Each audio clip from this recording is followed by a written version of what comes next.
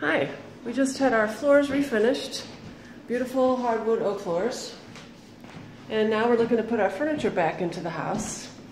And we're finding out that uh, we can't really pull it into the house with all the hardwood floors because they all have metal studs on the bottom of them, if you can see there.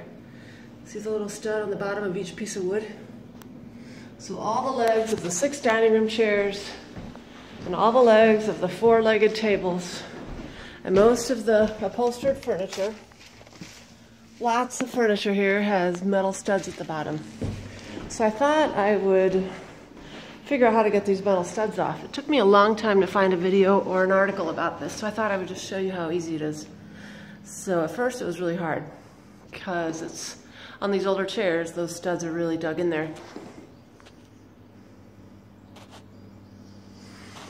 So I got a very thin flathead screwdriver and I put the chair on a carpeted surface and uh, what I did then was take my screwdriver and pry it under, just use a lot of leverage and pry it under the edge of the metal stud.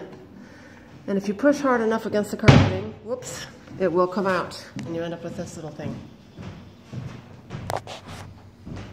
So this little thing will come out if you try hard enough and push against a carpeted surface. And then you can put felt on the bottom of each of the legs.